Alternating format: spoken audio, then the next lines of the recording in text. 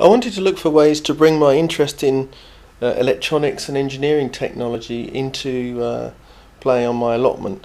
Um, and coupling uh, that objective with my intrinsic laziness, I thought an allotment polytunnel irrigation system might be a nice thing to play with.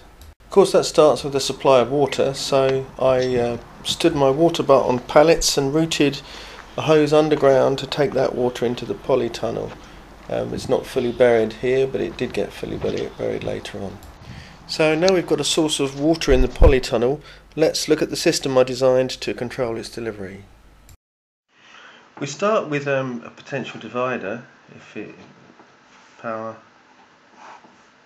um, ground, a potential divider. This um, is a probe which goes in the soil and is a resistor. This is a conventional resistor. And so there'll be a voltage available here which is proportional to uh, the moisture in the soil. Moisture.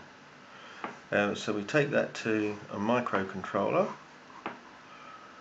In this case, uh, an AT Tiny 85 and we take it to an analog pin where we read the value and then we determine what to do about it.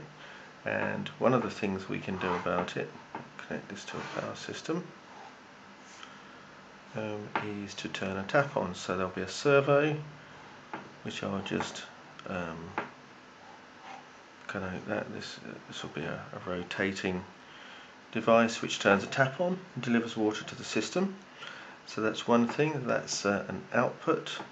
And there's another output, which is um, a piezo crystal, which makes a noise. And there's another input, which is a potentiometer, which allows us to set the moisture level that we want to trigger on. So what the microcontroller is really doing is comparing the voltage on the soil sensor with the voltage that you set on the potentiometer um, and deciding whether or not to turn the tap on. And as you'll see, the, the piezo is used as an output device to tell you um, what the current set value is and what the current measured uh, value of the soil moisture is um, and it makes a different noise if it turns the servo on. You'll see that shortly. This then is the system in prototype form. There's a PP9 battery there uh, driving a buck converter which reduces it to 5 volts and regulates it and sends it to the breadboard. On the breadboard there's an ATtiny85 microcontroller, um, a potential divider and the two wires which make up the uh, soil probe. The round thing there is the piezo speaker. The system tells you what it's doing through the piezo crystal and a sound interface. It's quite simple.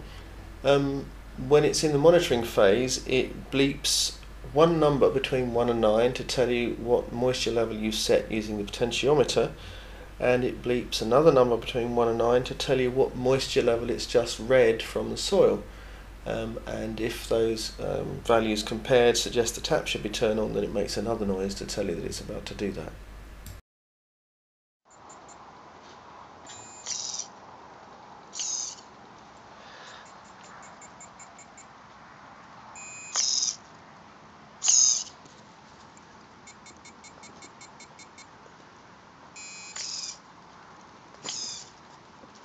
So the concept is proved, I packaged it um, and installed it like this. With a solar panel which collects the sun through the polythene. Routes the power along this cable in the ridge. Anyway, let's have a little look. This is the brains. It find the soil dry. Turn the tap on comes out. So you get the basic idea, the system was installed and it worked. However, um, whilst I proved the concept, the system did not go live and there are a couple of reasons really. Firstly, the system's underpowered, the servos really struggle to move that ball valve um, so I need a tap which doesn't leak but which is not so hard to turn or else I need a gearing mechanism. Secondly, the system's unreliable Um, principally because of poor filtering of the water from the water butt. Um, the smallest amounts of leaf debris in the ball valve would lock it up entirely, and so that's not a suitable way to proceed. And finally, the system was fragile um, in the hostile environment of the polytunnel. Moisture would cause problems with the battery and with the electronics, and of course, the breadboard is not really a sensible way to go for a final installation. Still, concept proved, and this is certainly something I'll take forward in the future.